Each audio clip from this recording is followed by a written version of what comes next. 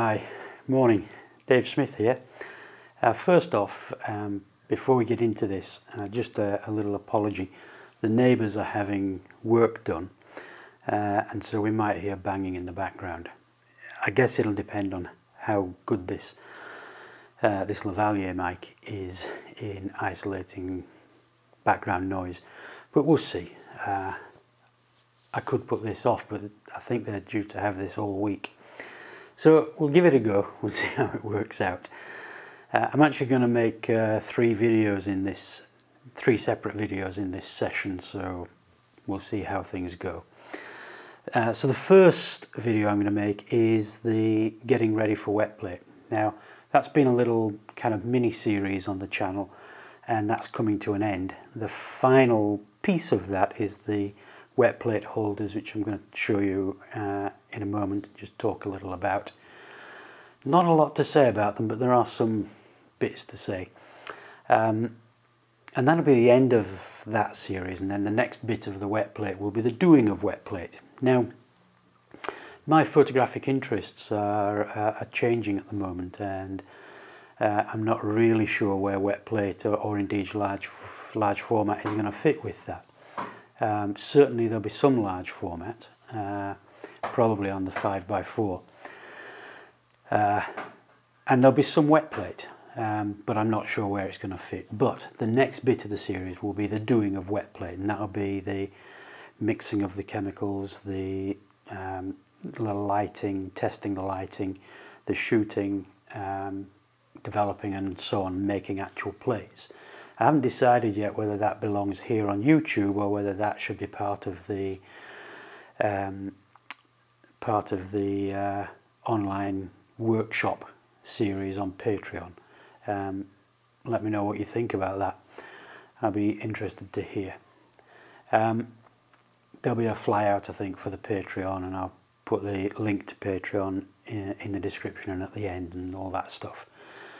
Uh, so let's get into uh, holders. Now, excuse me, I've got a couple down here. That's the 10 by 8 and 5 by 4 holder. I'm going to do something else with 5 by 4 This massive beast is the 12 by 20 and I think the 12 by 20 is, uh, is destined to go. Uh, I've put that up on eBay and I'll advertise it elsewhere. Uh, it just isn't going to fit with, uh, with where I'm going with photography although it's quite a beast and it's just basically sat around for years, um, which is silly really. So uh, I'm gonna I'm gonna move that one on.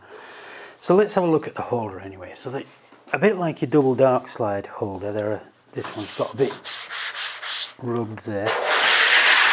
You get these two slides and you can see here where the plate would sit. Now I've got my inserts in here. I think you I think you'll be able to see that. So the plate would sit in that space there. Going in from the other side, this this would be the side that the lens is over there and the image is projected here.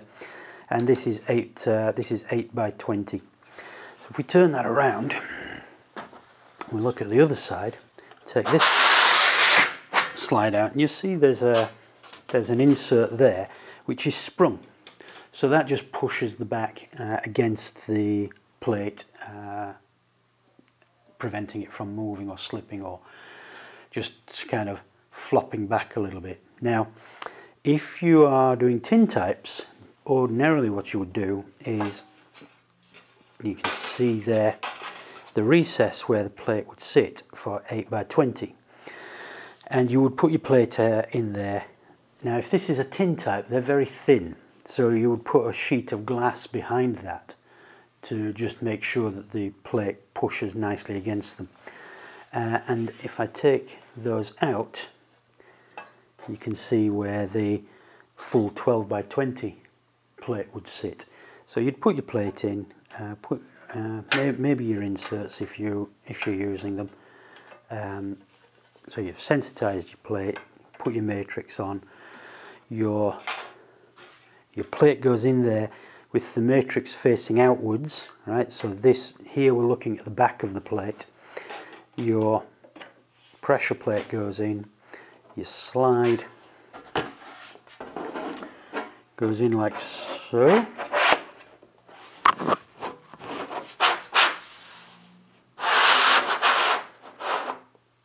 Okay, and then this would this would already be on when you're putting your plate in, uh, but I'll just put this back on now. So your plate's in, you take that out, load that into your camera so that that side is now facing the lens. So the lens is over here, bellows, plate, pull that out, take the lens cap off, exposure plate. That's it, that's a holder. Now those are, at that size, they're hugely expensive. That would be about 800 pounds-ish for one of those, maybe more. Uh, this is the 10 by 8 version and in my 10 by 8 version I've also got a 5 by 4 insert. So I can take that insert out not from here this is the front right? So the um, the matrix would be facing out this way your lens bellows exposure uh, exactly the same as that one uh, with the insert as 5 by 4 without 10 by 8 uh, apart from that process exactly the same. So those are holders. If you are shooting wet plate and you're shooting on tin type, don't forget to also put just a piece of plain 2mm um, framers glass in there as well, just to make sure that the tin type plate is held uh, firmly in place by the um, pressure plate at the back. Now there's another style of holder that people use. Let me just grab one of those.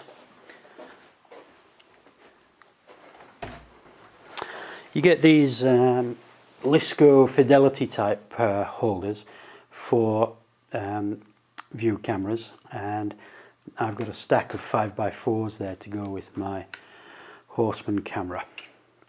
And uh, let's just have a quick look at, uh, at these. So you've got your dark slide and you've got those on each side and it's separated by a septum, uh, a little kind of piece in between. And what you do is you open that bit and your film slides in. There's some guide rails at the bottom here. Your film slides in underneath those and sits against that septum. Close it back up and you're ready to shoot. But what uh, some people do is they will take those two out and they'll use something like a little Dremel tool and they'll Dremel out that septum all the way around then put a little kind of take a little triangle off that and put that back in uh, underneath so that your your plate goes in. So if you've cut that out you put a little triangle at each corner or a piece of wire or something like that your plate goes in matrix facing that way. Uh, a little piece of pressure back here with one of the slides and you've got um, you've got a homemade wet plate holder uh, and that's that's what some people uh, do with those. Now those are pretty cheap. Those are 15 or 15 to 25 pounds each, depending on where and when you get them. Uh, the 10 by 8 versions of these are hugely expensive, maybe around uh, 70 to 100 pounds for a 10 by 8 version of those. Uh, that's still cheaper than a new uh, wet plate holder. That 10 by 8 wet plate holder was about 300 pounds and that's about what they cost. You get them from Chamonix, they're about that price. Uh, so quite expensive. Um, similarly, the, the 5x4 uh, holder from Chamonix, I think is a little over £100. Been a while since, since I looked at those. So that's another option if you want to save a little bit of money. You can get you can shoot in 5x4 on a 5x4 large format camera take this septum out, put a little triangle of material in to hold the plate in place, put it in, put your dark slides in, you're good to shoot. Um, now you want to make sure when you've cut that out, when you put the triangles in from the underside, that there's enough space because that, that's only maybe a millimetre thick. So that's okay if you're shooting on tin type, if you're shooting on glass, I think you want to make sure that your glass is 2 mils and not 3 mils for example just to make sure you've got enough clearance between the dark slide and the matrix when the dark slide goes in. Uh, so that's another uh, that's another possibility for uh, holders. Um, if anybody's uh, shooting wet plate, uh, I'd love to hear from you in the comments about uh, what you're doing, what you're using, uh, how that's working out. If you're thinking about shooting wet plate and you're watching these, you, you're kind of looking at this series for some uh, indicators, I'd, I'd love to hear from you as well. Just um, what you're thinking about this little series, uh, how your plans for wet plate are going. Uh, let me know what's happening. Okay, so that's the end of the getting ready for wet plate series. I hope that's been of some interest and some use. Uh, I'll transition now into the doing of wet plate. I'm not quite sure when I'll get to that. There's really quite a lot of uh, videos to, to get through before I get to there. Um, but I will get to it. Uh, so I hope this is all of some interest. Bye for now.